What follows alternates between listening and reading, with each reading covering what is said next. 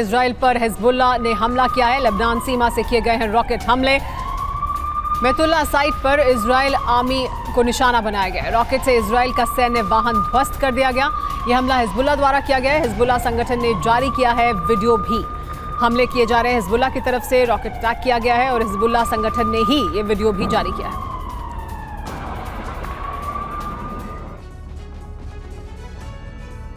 Netanyahu और Biden के सामने इस वक्त सबसे बड़ा संकट वो बंधक हैं जिन्हें हमास ने 7 अक्टूबर को हमले के दौरान बंधक बनाया था। हमास के पास बंधकों की संख्या 250 है, जिन्हें उसने अपनी अंधेरी रहस्यमयी और अभेद्य सुरंगों में कैद कर रखा है। हमास को मिटाने के लिए, बंधकों को छुड़ाने के लिए नेतन्याहू और बाइडेन ने नए प्लान पर काम करना शुरू कर दिया है। अमेरिका से 2000 स्पेशल कमांडो इसराइल पहुँच चुके हैं। ब्रिटेन से भी स्पेशल फोर्स आने वाली है। इसके बाद इजरायली सेना सुरंग युद्ध छेड़ेगी। लेकिन सवाल यही है कि क्या ये बंकर वाली जंग इसराइल के लिए आसान होगी?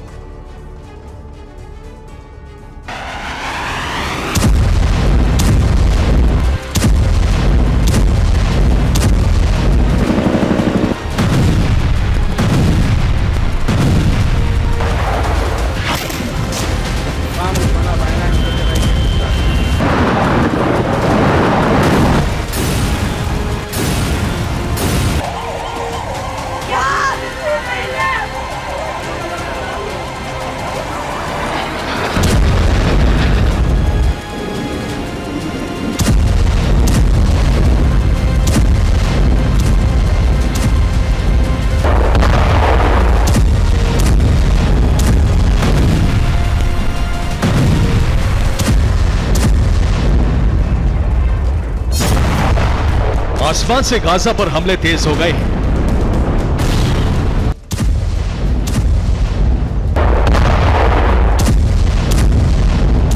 इजरायली एयरफोर्स गाजा को खंडहर बनाती जा रही है।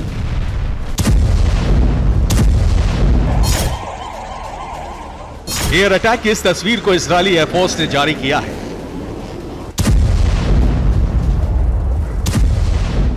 इसराइल ने एक ही साथ गाजा की सात इमारतों को ध्वस्त कर दिया। आसमान से गाजा का विध्वंस जारी है, लेकिन अब विनाश का सबसे बड़ा तूफ़ान आने जा रहा। है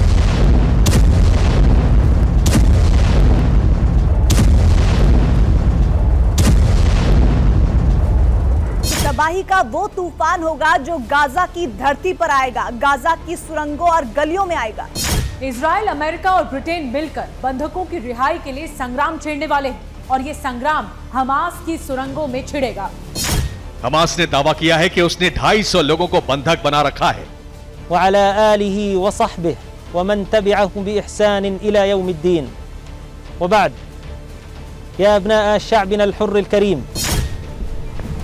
हमास ने सभी बंधकों को अपने अभेद्य टनल में रखा है अब रिपोर्ट्स ये है कि हमास बंधकों को अपने स्पेशल सुरंगों में शिफ्ट कर रहा है ताकि अगर सुरंग युद्ध शुरू होता है तो इसराइली सेना बंधकों तक न पहुँच पाए। इधर बॉर्डर पर मौजूद इसराइली सेना लगातार सुरंग युद्ध की तैयारियों में जुटी है। इस ऑपरेशन के लिए अमेरिका ने 2000 स्पेशल कमांडो तेल अवीव भेज दिए हैं। पेंटागन से ये डिप्लॉयमेंट बाइडेन के इसराइल दौरे से ठीक पहले हुआ है। ब्रिटेन भी गाजा ग्राउंड वॉर के लिए अपने स्पेशल कमांडोज की टुकड़ी भेज रहा है।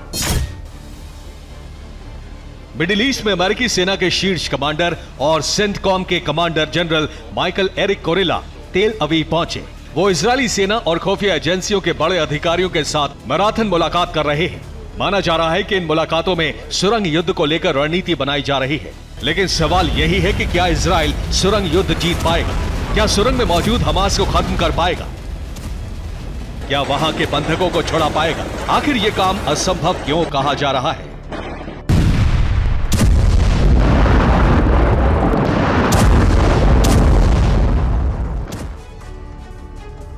सुरंग में युद्ध लड़ना, हमास को खत्म करना, बंधकों को छुड़ाना इसलिए आसान नहीं है, क्योंकि हमास की सुरंगें कोई आम सुरंग नहीं है। ये ज़मीन में 100 फीट नीचे भूल भुलैया टाइप बनी हुई है। ये एक तरह से जाल की तरह से बनी है। हर सुरंग एक दूसरे से मिलती है। ऐसी सुरंग में घुसकर ऑपरेशन चलाना कितना मुश्किल होगा, इसका अंदाज़ा खुद ही लगाया जा सकता है। गाजा में ज़मीन के अंदर कोई एक दो सुरंग नहीं है, बल्कि तेरह सौ सुरंगें हैं। हमास का दावा है कि इन सुरंगों की लंबाई 500 किलोमीटर है। सुरंग की दीवारें सीमेंट और कंक्रीट की हैं। ये काफ़ी मोटी हैं, जिन्हें अभेद्य भी कहा जा सकता है। इन्हीं सुरंगों में हमास के हथियार गोदाम भी मौजूद हैं। हमास का कमांड और कंट्रोल सेंटर भी इन्हीं सुरंगों में है। हमास यहीं से ऑपरेशन से जुड़ी प्लानिंग करता है, यहीं से ऑर्डर जारी होता है। हमास के हज़ारों लड़ाके इन्हीं सुरंगों में रहते हैं, यहीं पर हमास ने बंधकों को कैद कर रखा है।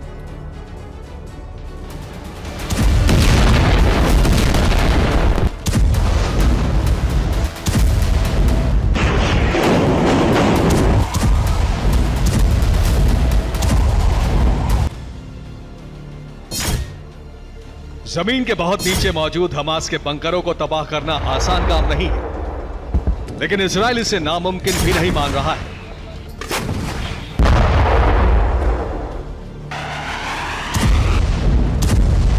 इसराइली सेना ने हमास के सुरंगों को बंकर बस्टर बम से तबाह करने का प्लान तैयार किया है। इस बंकर बस्टर बम का असली नाम है जीबीयू 28 पे वे लेकिन दुनिया इसे बंकर बस्टर बम के नाम से ही जानती है। यह अमेरिका का बम है, जिसे बंकर और सुरंग तबाह करने के लिए तैयार किया गया है। इसकी लंबाई है 19 फीट। एयरक्राफ्ट से फायर किए जाने के बाद यह ज़मीन के अंदर 16 फीट नीचे जाता है। इसके बाद जोरदार धमाका करता है। अगर कंक्रीट की कोई सुरंग या बंकर ज़मीन के अंदर 16 फीट नीचे है तो अमेरिका का बंकर बस्टर बम उस सुरंग या बंकर को तहस नहस कर देता है।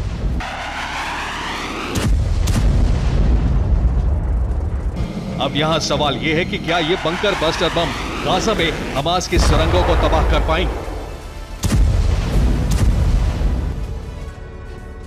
सवाल यही है कि क्या इसराइल अमेरिका के बंकर बस्ट बॉम्ब से हमास की सुरंगों को तबाह कर पाएगा? जवाब है नहीं। ऐसा हम क्यों कह रहे हैं? अब इसे समझिए। दरअसल अमेरिका का बंकर बस्ट बॉम्ब फायर होने के बाद ज़मीन के अंदर 16 फीट तक नीचे जाता है। इसके बाद वो जोरदार धमाका करता है, जिससे 16 फीट नीचे मौजूद कंक्रीट की सुरंग या बंकर तबाह हो जाते हैं। लेकिन हमास की सुरंगें ज़मीन के अंदर 100 फीट के नीचे हैं, यानी ज़मीन के अंदर बहुत नीचे।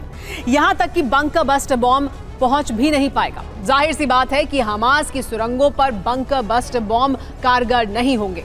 परिणाम यह होगा कि बंकर बस्टर से इसराइल के ऑपरेशन सुरंग को कोई फ़ायदा नहीं मिलेगा।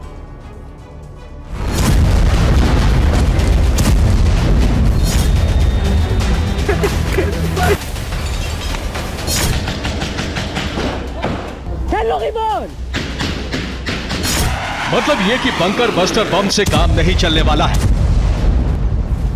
जमीनी जंग छेड़नी होगी। सुरंग के अंदर घुसकर युद्ध लड़ना होगा, जो बहुत ही मुश्किल और जोखिम भरा है।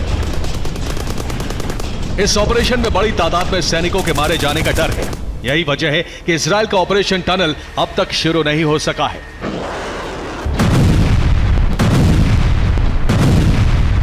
उधर हमास अब बंधकों के बदले सौदेबाजी पर उतर आया है। ईरान ने कहा है कि बंधकों की रिहाई के बदले इसराइल को बमबारी बंद करनी होगी। हमास के सीनियर नेता खालिद मशल ने शर्त रखी है कि इसराइल जब तक फिलिस्तीन के 6000 कैदियों को नहीं छोड़ेगा, तब तक हमास बंधकों को रिहा नहीं करेगा। उधर बंधकों को रिहा कराने के लिए अमेरिका लगातार बातचीत का रास्ता भी अपना रहा है। अमेरिका के कहने पर मिस्र और जॉर्डन हमास से लगातार बातचीत कर रहे हैं। जब तक बातचीत हो रही है, तब तक इजरायली सेना बॉर्डर पर हाई अलर्ट पर रहेगी। गाजा पर आसमान से इसी तरह लगातार हमले होते रहेंगे। लेकिन सुरंग युद्ध कब शुरू होगा? शुरू होगा भी या नहीं? इसको लेकर अब तक संशय बना हुआ है। Bureau report, TV nine Bharatvarsh